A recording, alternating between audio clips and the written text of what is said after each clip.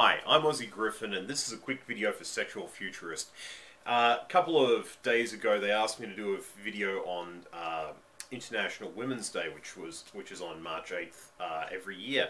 I said I didn't really have much of a stake. They said that's cool. I said how about I do one uh, instead on the Divine Feminine, and they said that'd be awesome. So here we are. Now, in short, uh, the Divine Feminine is trying to find uh, a way to incorporate things that are inherently feminine into one's spirituality.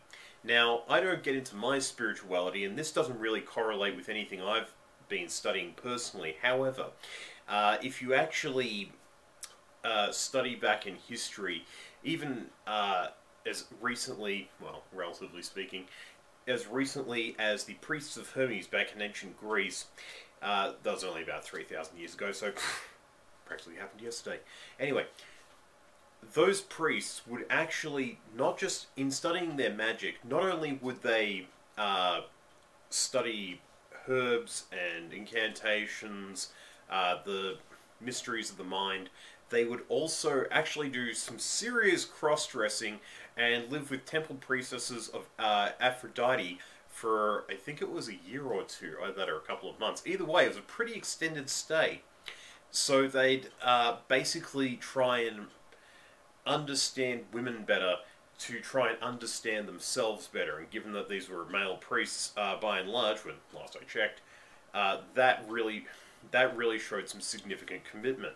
So, uh, trust me when I say, uh, the divine feminine is basically whatever you feel it to be, and that means several different things. If you look at the uh, spiritual traditions I'm referencing. However, it's also a case of trying to enhance, uh, for a lot of people, it's a case of enhancing their spirituality by trying to find the more feminine side to a lot of things.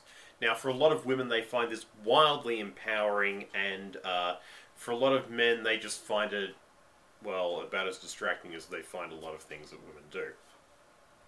Anyway, what I'm saying here is the divine feminine is something to be approached with contem- contemplation and honesty.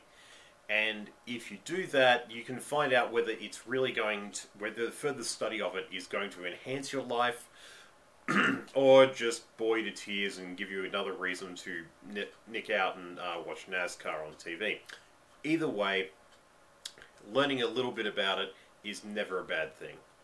Anyway, I'm Aussie Griffin. I hope this has been elucidating, or at least, uh, or at least time saving for everybody out there. And of course, you're watching this over here at Sexual Futurist.